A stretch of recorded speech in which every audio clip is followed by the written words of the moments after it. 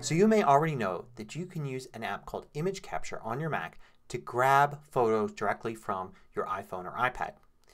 But you can also do the same thing using Preview.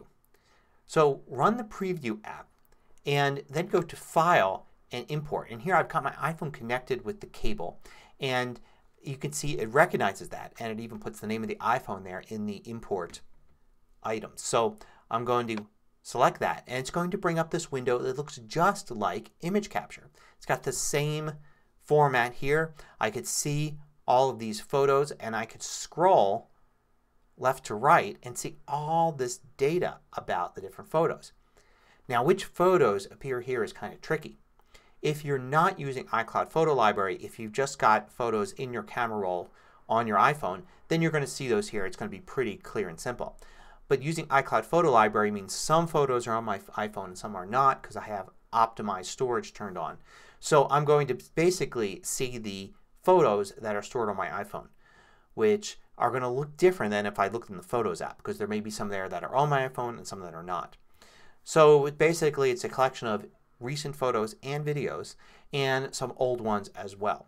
It could be really handy for grabbing a photo. Maybe uh, you use your iPhone uh, for personal use most of the time, but you take a picture for work and you want to get that photo off of your iPhone, you can use Preview here or Image Capture, uh, find that photo and get it off of your iPhone onto your work computer uh, and then remove it from the iPhone so it's not part of your personal collection. So I can select a file here and I can hit the import button and the import button is going to ask me to select a location I'll hit choose destination and you can see it puts it on the desktop but also opens it up in preview. So this is where it's a little different than image capture.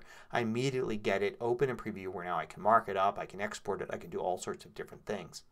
I can also do the same with drag and drop. I can drag an item to the desktop here. It will appear there on the desktop or in any folder and it will also open up in preview at the same time. You have some other options. You've got uh, a switch here between the list view and icon view.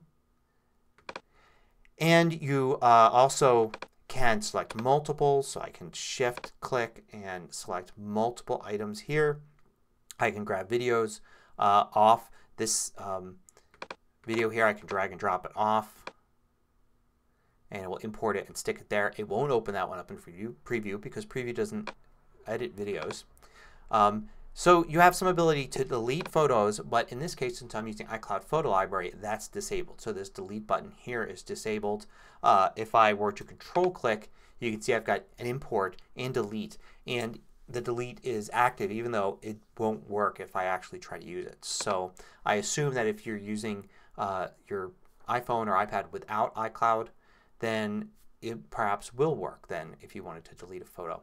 Uh, this also could be a great way to archive your photos if you have all of your photos on your iOS device. I can do Command A to select all and you can see as I drag it's going to tell me that it's got all those photos there in that drag and I can actually save those off.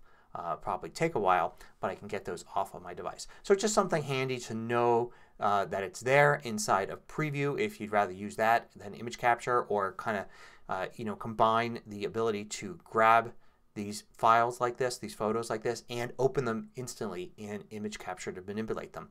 Uh, just a handy tool to know about.